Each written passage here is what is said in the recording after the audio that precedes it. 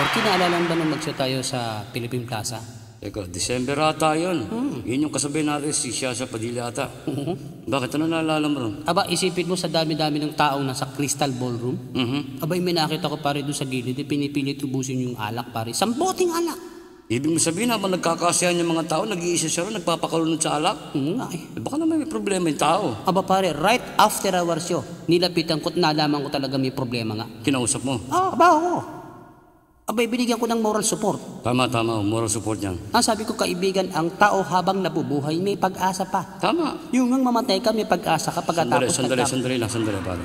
Yung buhay may pag-asa, pero yung patay wala ng pag-asa yan, pare. Mm, diyan ka kulang ng impormasyon. Ano naman kulang impormasyon? Ang tao pag namatay, may pag-asa pa. Kalokohan. Pag ang tao namatay, walang nakakaalam kung anong mangyayari sa kabilang buhay. O sige, pagpalagay natin mamatay ka. Teka, bakit ako? Kay sino? Bakit hindi ikaw? Wala na magkukwento. Oh, eh bakit hindi yung mga nanonood na yan? Abay, wala na magbabayad. Eh bakit nga ako? Bayad ka naman eh. Oh, oh sige, sige ako na. Halimbawa mamatay ka, knock on wood naman. Bakit oh. Two things may happen to you. Ganun ba yun? O, mari ka maging alabok ng lupa o kayo'y maging pataba ng lupa. Ah, tabo ko, pataba ng lupa ha. Pare, pag kayo naging alabok ng lupa, maswerte ka. Ba't mo naman nasabi? Lili pa rin ka ng hangin, pre-trip around the world hanggat may hangin. Ah, okay pala. Pag ikaw'y naging pataba ng lupa, Tutings na naman yan. two things may happen to you again. Ano-ano? Maaari kang maging magandang bulaklak Bulaklak? o matayog na punong kahoy. Ah, punong kahoy. Pare, pag ikaw'y naging magandang bulaklak, maswerte ka. Ba't mo nasabi? Abay, hahalikan ka naman nagagandahang dalaga. Hahalikan ako ng mga babae. Siyempre, Wow! Sa wakas makakatikim din ng tao. bullshit.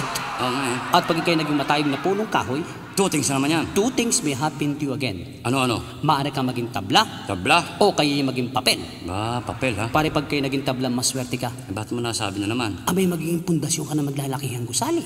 Katulad ng mga building sa Makati? Yes, sir. Oh, mataas ha? At pag kayo naging papel, Tutings na naman yan. two things may happen to you again. Ano-ano? Maaari kang maging papel na sulatan Sulatan? o toilet paper. Ito. Parang hindi maganda yung pangalawa mo eh. Pare, pag kayo naging papel na sulatan, maswerte ka.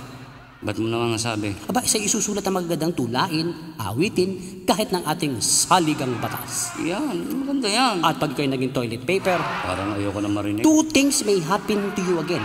Ano-ano? Maaari kang gamitin ng kababaihan sa likuran Aray ko. o sa harapan. Yan, dyan, dyan. Tama ako dyan, dyan. Dyan, tama ako dyan. Pag kayo ginamit sa likuran, maswerte ka. Paano nangyari yan? Abay, malapit ka na sa langit-langitan. At pag ikaw ginamit sa harapan, pinakamaswerte ka. Bakit mo nasabi? Doon masasabing there is happiness after death. Wow! Sarap palang mamatay. Oo, pero pansamantala lang yon. Bakit? Pag ipiles ka na, yun ang simula ng impyerno mo. Buset!